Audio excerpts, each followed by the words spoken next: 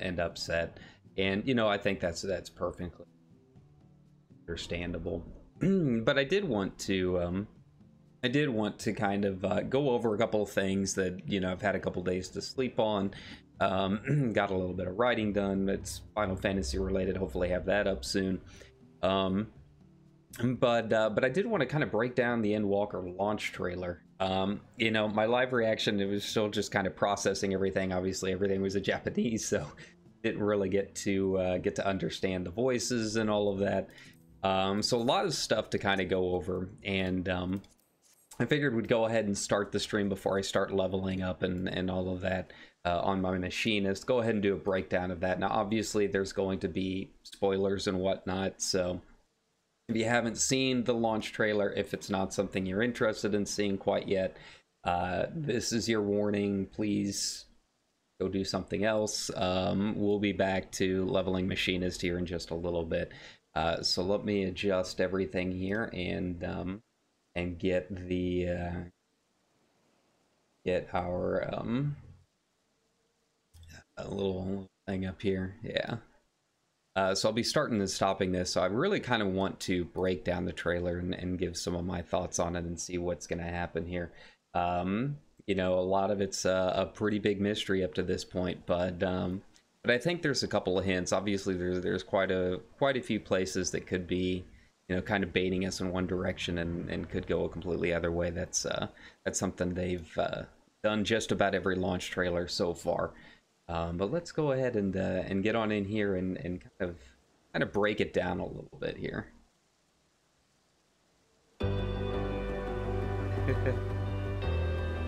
and of course, the music just right off the bat. And so venture forth unto the unknown. Yeah. See, I didn't realize that was Emet the first time that I watched it, and um, yeah, I think it's interesting that he's going to be our narrator. I'm, I'm excited to have him back, at least in some form. Have a safe journey, and please, please, be careful. So obviously I think this is us leaving for Old Sharlayan and um, making our journey there. That which lives is destined to die. Love leads to loss. Every beginning has an end. Okay, so obviously we had Radz-at-Han there, and um, and every all of the first beasts coming out. So I think at this point it's pretty clear to say that you know whatever had awakened the first beasts is going to be coming back in in the source. Um, that's pretty clearly what Fandaniel and, and Zenos are kind of aiming for right now. Um, trying to um, trying to awaken whatever it was that was making that you know primordial calling that was referenced in Amaurot. Um, so you know those flying things, everyone I've seen on on reaction going, "Whoa, what is that?" And I, I think I did that during the launch trailer too. Um, you know, if you go back and and, and play Amaurot the dungeon, those are the, the flying tentacle tentacly dudes that are uh, that are um, in the final stretch. Um, so so yeah, a lot of a lot of first beasts coming back. Every adjust the volume a little bit here. That's where souls and stars rest. Find your truth.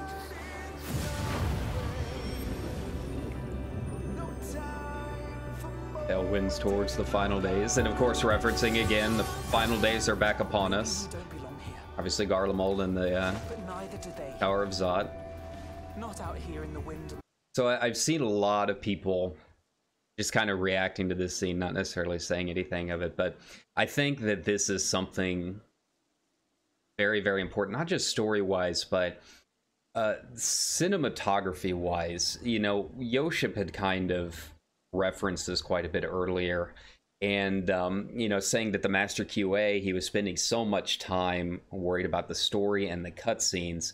You know, it seems like every expansion, they've really ramped up the um, the scale and the uh, the quality of their storytelling and and, and in particular um, really the cinematography in the game. Um, you know this is one of those scenes that really stood out to me not just for the implication of what's going to happen to Alphinaud and Alisaie but uh, just how much farther they've come along. Um, at this point like Endwalker does not to me feel like the completion of a video game. It, it really feels like a we're watching the end of a movie that we've been watching for eight years at this. Um, you know, even just the animations of her crawling on over was um, is something that we've never really seen before. I mean, I think that's a pretty significant jump up. I think now that they're away from a lot of the PlayStation limitations and, and more gearing themselves for the PS5 and uh, late PS4, uh, we're going to see a pretty big jump in quality. Um, there was already a pretty big jump in Shadowbringers with some of the stuff they were doing with the camera and some of the filters they were using during movement. Um, but I mean, this this scene in particular really does make it feel like a movie uh, rather than just a video game. And I think that's um, I think that's really what I'm looking forward to as much as as anything, seeing how far they've uh, they've come along on it.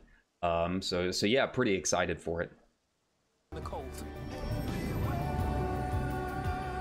That blue will be your guide. Obviously, the net. I think that's that's pretty clear at this point. The uh, the voice of Hydaelyn, the heart of Hydaelyn. I mean, Darkness, seek joy. Vegas Sisters. Yeah. Darzat. Now this is new. We hadn't really seen too much of uh, of that dungeon before. Course, Anima. Now, Anima, I think, is going to be really interesting. So we've had so many questions as far as what is going to happen, as far as you know, how are the first beasts coming back? Uh, what was the creature that had you know originally called to everyone? Um, obviously, I think this is pretty clearly going to be a trial. I think this sequence right here is going to end up being an active time maneuver. I think that's pretty obvious. At this point. Um, you know, when it comes to the creature that made made the initial keening, as they called it, um, you know, I, I know a lot of people, myself included, are like, hey, let us fight Lavos. That would be pretty cool. And, you know, after the reveal of the islands that look incredibly like Zeal, a lot of people are kind of wondering if they might bring Chrono Trigger back. You know, I think that's kind of wishful thinking. I would love it if it does end up being the curveball that they throw at us. Um, realistically, I don't think that's what's going to happen. Um, so, so it kind of got me thinking, just looking at everything that's going around with the art design and everything of the, the background here i'm kind of wondering like what if anima is the one that was originally making the call to create the first beats i mean it kind of fits a little bit with um with what i remember from final fantasy x. It's been a long time since i played it. Um but um but it does kind of fit uh, the art design and the style here fits along with what was going on in, in um, some of the other areas that we're going to see a little bit later, as well as the opening of the Pandemonium uh, raid. Um, I think you know if you look around here, this could very much be something that's maybe being key, you know, hidden underneath Sharlayan. Uh, this could be their secret. Um, you know, I, I, mentioned I think maybe during the live letter, maybe it was just in Discord, but I kind of wonder if Labyrinthos, the uh, the underground area that they keep showing off, might not be where they're excavating anima or whatever happens to be falling to the first beast. So I, I think anima might have a pretty significant part to play uh, in this expansion. Um, it really would not surprise me whatsoever if she was being, you know, chained underneath as being the original caller of the of the beast. So so we'll see. Come. Burden. You've Or suffered Zen enough. references. The Looks great. Burns.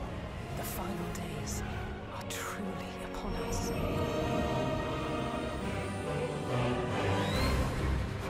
or the first piece. Now, I thought this was interesting too. You know, it's more just like a, a callback, but that's obviously Humbaba from Final Fantasy VI after the World of Ruin, and you have to have to recruit Terra. Um, Humbaba, I don't know if this is just going to be like, you know, solo duty or something like that, but um, but I thought this was a great little reference of just kind of showing the scale of destruction that's going around. Since you know, if you played six, um, Humbaba only shows up in the World of Ruin after everything's basically decimated. Um, it was originally supposed to be a, a, an incredibly hard boss. You weren't originally supposed to beat it until you've done a little bit more and then recruited Terra and then have her abilities come through. He basically one shots uh, one shots the party. Um, so we'll see what happens with with Humbaba running around, but I think that's a nice little reference just to kind of show the scale of the destruction that's going on down in Radz-at-Han right now. bereft of hope, and now dignity. was a grand, glorious dream we shared. You know, I think, you know, just judging by the hairstyle, that might have been Nero. Um, but we don't know for sure. It's been a long time since I've heard his voice actor. I don't even know if he's had a voice actor since ARR. Um, so, um, so yeah, that should be pretty interesting. And it could not be Nero. I'm just, you know, it's hard to tell just judging by the hairstyle, but um, I think that's kind of the um, kind of the given. Nice, nice place to stop there.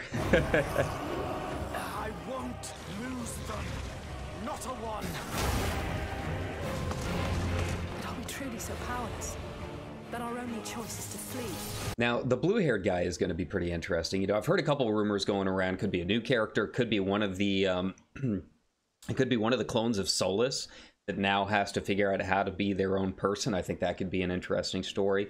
Um, whoever it is, is is obviously going to be pretty important because they're shown here a couple of different times.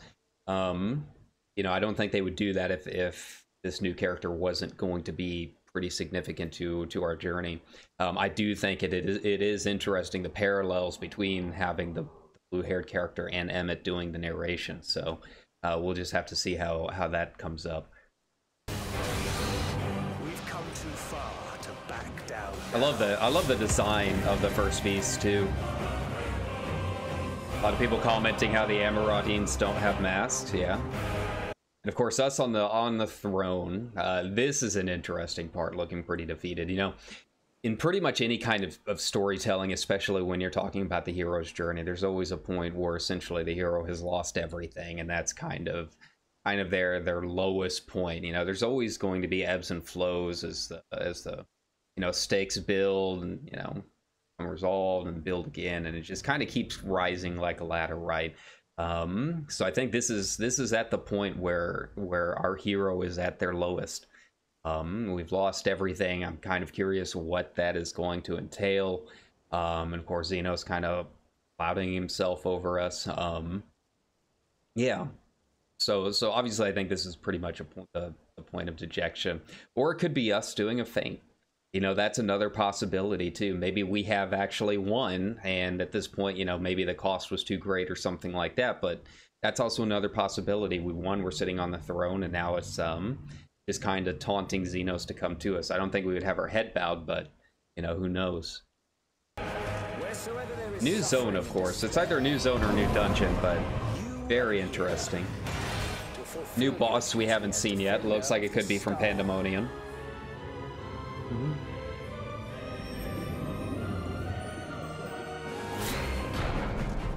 I do love the flashbacks and just the build in the in the theme. I do think it is interesting that it it transitions to the old Sharlayan theme here. There must be a way Convocation, to yeah. to the way they were. Now this, everyone's saying Zodiark, Zodiark, Zodiark. I don't necessarily think it's Zodiark. Um, it could be, um, but when you look at the design, and someone had mentioned this in, in one of my discords too, but it looks like Necros from Final Fantasy IX. I mean, the design and just about everything about it looks a lot like Necros. Supposedly, there was a leak from the Square offices that had a picture of Necros uh, at the at the uh, on the walls. Um, so it could be possible that that is Fandaniel. Fan Daniel could be Necros. Um, but um, but yeah, I mean, it could be Zodiark. They could just be trying to do a callback in the design. That's something that they've done fairly fairly often. Zodiark, of course, has been a long time character in Final Fantasy as well, but um, but it'll be interesting to see what this is leading up to as far as like the final fight goes. And you know what what Fandaniel's saying here is also pretty interesting. Is it sounds like he wants the rejoining, just like the Unsundered did. Um, so yeah, I, I think Zepla had mentioned this as well. But you know, are they are they doing a bait and switch with Fandaniel? You know, I've I've had a, a, a lot of people um, discussing Zenos as a villain and Fandaniel as a villain and whatnot. Um, you know, Fandaniel is really the main villain. Um, you know, a lot of people don't like Zenos. They think he's too campy or, or you know, just kind of too one note. You know, Zenos and and this is fairly common in a lot of different kind of storytellings. You've got kind of an A plot and a B plot kind of going at the same time, right? You know, the way that a villain is is portrayed is not necessarily you know where their themes and motifs come from right so zenos is portrayed as just a, a very deadly intimidating villain so naturally people would necessarily think that you know oh he's the serious villain and fandaniel's ooh the old crazy one like the joker right um, but that uh, when you look at the themes and when you look at you know the actual plot progression, that's not necessarily the case. Like Zenos, I love Zenos because even though he's portrayed very seriously and campy and whatnot, and he's obviously going to have a very big role in whatever is going to happen, Zenos is really the campy villain. You know that's why he's so one note. There's not a whole lot of progression that happens with Zenos. Uh, even changing jobs and whatnot, I don't anticipate that his mindset or his motivations are going to change all right. Uh, Fandaniel, however, I think is really, really the serious one, the one that where a lot of the themes and a lot of the story progression is going to come from. So even though he is portrayed almost as like a Kefka-esque villain, um, he's really where the story is centered around. He's the he's the the serious motivation for the story. Um, so so yeah, I think that's going to be interesting to see his motivations and and see what exactly his plan is coming through the course of Endwalker um, and why I like them both. Um, you know, despite their outward presentations, when you dig into their motivations and you dig into their progression themes, um, and you kind of see, you know, where they actually fall on that scale of campy to serious. I think um, they're a lot more interesting than people kind of give them credit for. You, you know, Zenos, you you can't really take it at face value, or, or I should say, you can take at face value. You know, he's supposed to be kind of the one no one but Fandaniel, whatever Fandaniel's doing is obviously pretty interesting and, and has a lot of implications here. Um, but yeah, as far as the final fight, you know, we'll see if this ends up being Zodiark and Necros. Um, you know, just the scale of everything and the fact that we've got the Amaurot teams around us could be the summoning of the of, of Zodiark, but you know, we'll uh, we'll have to see. I think it is an interesting um, interesting callback to FF9 though, as far as the design goes. To reclaim Yeah. the paradise we once had. It will be ours again. I think this is also really cool too. Sorry for stopping a whole lot, but obviously, the, you know, I did the reaction earlier. This I really want to break it down. Um, the Ancients, as their masks come up, I think it's interesting because I don't feel like they're against us anymore. Like they're looking around, they're looking to us, we're looking up at them, and then immediately it goes into the summoning of, you know, the G'raha Tia had had placed for us. Uh, we're summoning through the heart of Azem, you know, our our fellow warriors of light. Uh, immediately after that scene, I I think that is, I think that's going to be pretty interesting to see play out. Like it, it really does feel like whatever troubles the Ancients had with us before, it feels to me like they are no longer against us. Whatever Fandaniel is playing playing at, like they're no longer for it. You know, we have destroyed almost all of the Unsundered. They're no longer tempered at this point. You know, Emet-Selch is narrating at the beginning w- uh, uh, with us, like he considers himself, you know, one of our friends now. So I think that it is interesting that it looks as though the Warrior of Light is now the one carrying the torch for the Ancients. Um, I really, whenever I first saw this and, and looking back at it now, I really do not feel like the masks coming up around us were against us at all. I don't get that feeling just from the way the trailer and the music is playing out. It really does feel like um, like we're carrying their torches. So um, we'll uh, we'll see see what happens there. A world free of. Of course, Fortuno obviously knows something going on. Upon this, the final chapter in the tale of the star. Yeah. um, Daddy Levio knows something and could be tempered himself. We'll see. And then, of course, the stinger that has everyone super Told you at worried. it could be bait. More to me than you know. You know, I think there was a launch trailer, was it for Heaven's Thank Word, you. that shows um From the bottom of my heart. Given what lies ahead, I did not wish to leave for later that which I could do today. today. Um, but yeah, I think it was. Um, let me go ahead and turn that off. Yeah, I think it was uh, the Heavensward trailer that had um, that had Sid getting shot, and everyone was super worried about it. So I mean, they're known for bait and switching at the in the stingers of um, of their launch trailers. So we'll have to see what happens there. I don't think all of the all of the Scions are going to make it, um, but I don't know if it's necessarily going to be going to be Alpha. No, you know, a lot of people are worried about Y'shtola. Um, I don't necessarily think Y'shtola is going to go away. You know, part of me is worried because we know that she is dying every time that she her Aether sight. Um, so that's obviously pretty significant, but just from a practical standpoint, and, and this is part of me just having written about the industry for so long, you know, I don't think the PR department would let them get rid of Y'shtola. I mean, they just got done making a thousand dollar doll of her. She's essentially the you know the the mascot for for FF14. I just don't think from a practical marketing standpoint they would let her go, but you know, who knows? Final Fantasy games are known for bittersweet endings sometimes, so it is entirely possible she could be one. Um, I wouldn't be surprised if Uri- Urianger and Thancred are going to be gone. I don't necessarily think all of the Scions will die per se, but you know, their stories are told. Urianger and, and Thancred, I feel like their stories are you know, they they really ended with with Endwalker. Whatever happens, it's it's entirely possible that they could go back to the first and and hang out with Ryne. You know, I think of all of the Scions whose stories are mostly told, I think it would be them. G'raha's too new. I don't think G'raha would necessarily be going away, but you know, obviously with um um with uh, Jonathan Bailey's work with Bridgerton, I mean, he's probably the biggest biggest voice actor in the cast at this point. It wouldn't surprise me if maybe they have to find a way to get rid of G'raha just again from a practical standpoint that he is now too big of an actor to really be able to afford. Um, or just simply doesn't have the time. I mean, he's in the middle of filming season two of Bridgerton right now, and he's the main character. So, you know, trying to fit that in and and do Endwalker, I don't know how in the world how in the world he was able to do it. Um, so so I wouldn't be surprised if G'raha is kind of you know tampered down in terms of um, in terms of involvement.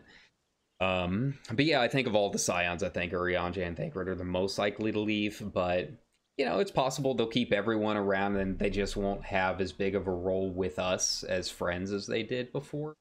Um, could be a case where you know they come back every now and then, be like, hey, you know, how's it going? Haven't seen you in a while, but um, you know, we might have to find a new party of adventurers, you know.